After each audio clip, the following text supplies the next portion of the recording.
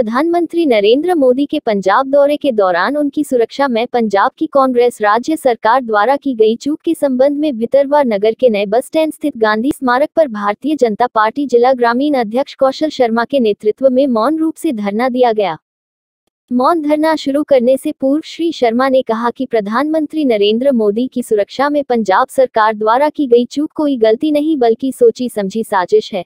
इसलिए पंजाब सरकार की किसी भी साजिश का मुँह तोड़ जवाब देने के लिए देश भर में भारतीय जनता पार्टी एकजुट खड़ी हुई है। वहीं उन्होंने कहा कि प्रधानमंत्री मोदी की सुरक्षा में चूक देश के स्वाभिमान पर चोट है और जो भी इसके लिए गुनाहगार है उस पर कड़ी कार्रवाई होना चाहिए। पूरे ग्वालियर ग्रामीण मंडल स्तर पर मौन धरना देकर कांग्रेस की नीतियों का विरोध प्रकट किया गया है।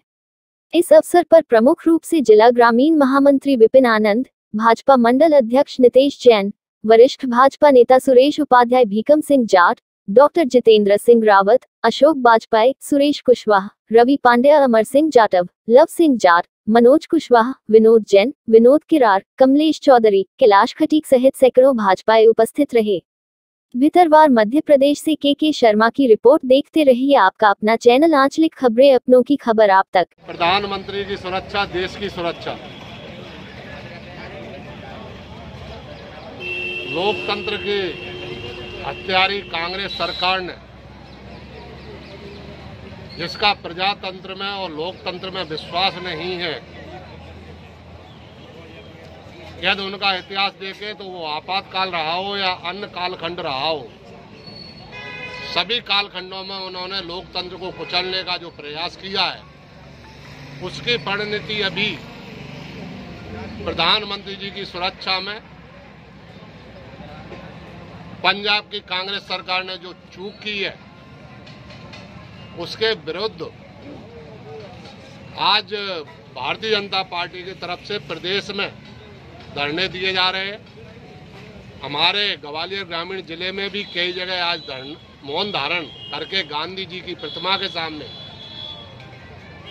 कार्यकर्ताओं ने जब गांधी जी के समक्ष ये प्रार्थना की है कि इन कांग्रेसियों को सदबुद्धि दे। देश का प्रधानमंत्री, किसी दल विशेष का नहीं होता है, वो देश का प्रधानमंत्री होता है। भारत वर्ष में नहीं, बल्कि पूरे विश्व में, जिस प्रधानमंत्री की कार्य प्रणाली की वजह से देश का मान बढ़ रहा है, देश का सिर ऊँचा हो रहा है, उसी प्रधानमंत्री की सुरक्षा में जानबूझ करके की गई चूक को